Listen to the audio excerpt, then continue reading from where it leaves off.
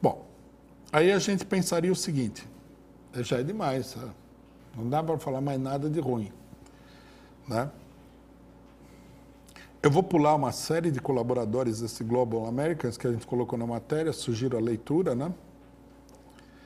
É, e vou assinalar o seguinte, que a, a, a, Global Americans, por sua vez, ela é associada a uma outra organização, que tem a sigla de NED, que significa National Endowment for Democracy uma organização que foi fundada em 1983 por ninguém menos do que o ex-dedo duro da época do macartismo, ultra-reacionário, anticomunista profissional, é, agente do sec, informante secreto e agente é, coberto do FBI, Ronald Reagan. O chefe dessa dessa agência, um dos fundadores da agência, ele declarou o seguinte: prestem bem atenção nessa declaração, porque essa declaração já é, é mais do que a gente poderia esperar como, como prova, né? Que é o seguinte: o nome dele é Alan Weinstein. Ele disse o seguinte: abre aspas. Muito do que fazemos hoje era feito de modo encoberto pela CIA 25 anos atrás. Nós não deveríamos ter que fazer isso de forma encoberta. Por quê? Porque seria terrível para os grupos democráticos em todo o mundo serem vistos como subsidiados pela CIA. Nós vimos isso nos anos 60 e por isso que foi descontinuado. Nós não temos tido a capacidade de fazer isso. Por isso, o endowment, o NED, foi criado. Quer dizer, o fundador da organização que é associada com o Global Americans, que é associada com o IRE, no qual o Bolos trabalha, que foi fundado pelo amigo do peito do Bolos, ele declara aqui com todas as letras que eles foram criados para substituir um programa da CIA, que é um programa de financiamento de agentes estrangeiros para derrubar os governos democráticos. É isso que ele fala dos anos 60. O que aconteceu nos anos 60? Golpe de 64?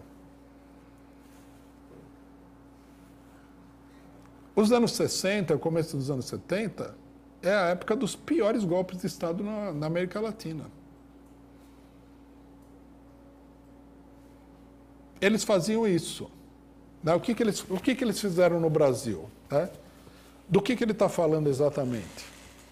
No Brasil, a CIA criou uma, uma organização parecida com essas aí, né? que era chamada de, se não me engano, IBAD.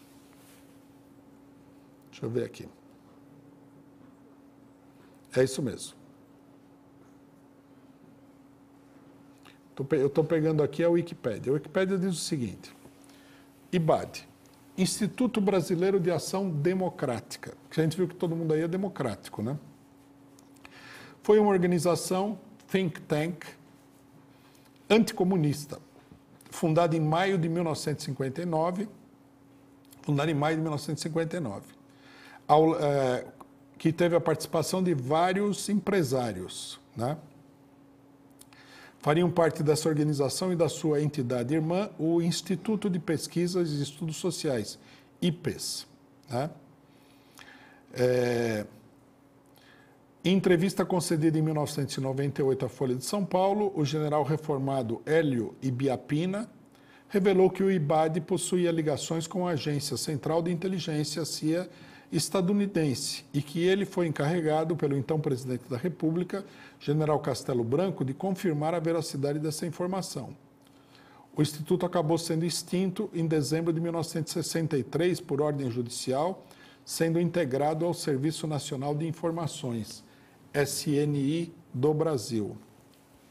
Eu acho que 63 não é correto, mas enfim. Né? É, o que, que o IBAD fazia? O IBAD ele financiava né, é, pessoas que apoiassem o golpe de 64. Ele e outras organizações. O, o ex-candidato do PSOL, que, tá, que morreu, né, o, o Plínio de Arruda Sampaio, o, o velho, né, ele deu uma entrevista num documentário onde ele fala que ele foi procurado por essa organização. Né? E aí eles é, queriam oferecer para ele dinheiro para ele defender posições contra o governo João Goulart. E ele disse que rejeitou. Né? Mas deveria, o que ele deveria ter feito era denunciar isso aí. Quer dizer, eles compravam imprensa, parlamentares, autoridades públicas, por exemplo, algum juiz de Londrina, algum procurador evangélico, né? militares. E o cidadão aqui, na matéria que nós, na, na, na citação que nós fizemos aqui do, do como é que chama? Do NED, ele fala que o NED foi criado justamente para substituir essa ação.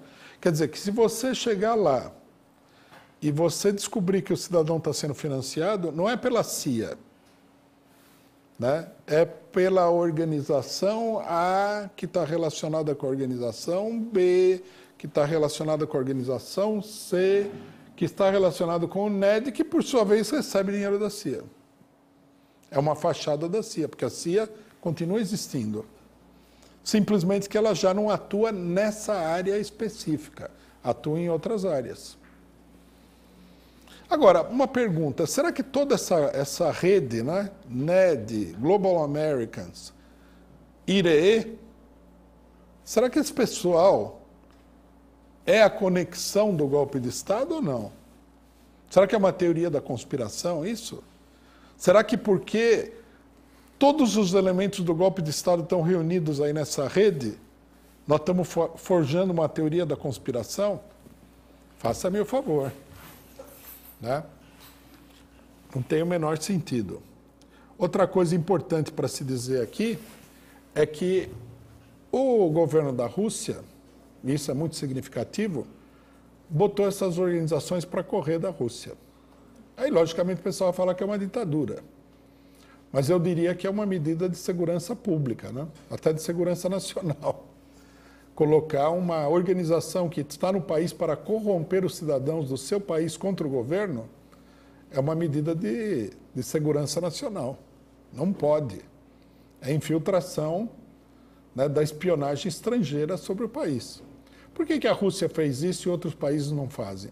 Porque a Rússia, o governo russo, ele é, numa certa medida, independente do governo norte-americano. Ele tem um conflito com o governo norte-americano. E a expulsão deles mostra que eles são uma força desestabilizadora. Bom, esse é o panorama. Tá? Aí, esse panorama, aí o, a, o pessoal fala, não, isso tudo é loucura do PCO, teoria da conspiração. Precisaria ver qual que é a loucura, porque tudo que foi falado aqui são fatos. E, e, melhor, graças à nova política da CIA, né, de fazer as coisas abertamente, são fatos relativamente comprovados com facilidade. Você vai na internet, tem a internet hoje também, 64 não tinha internet. Você vai lá, você pesquisa e você vê, fulano está ligado a Beltrano, papapá, está todo mundo ligado.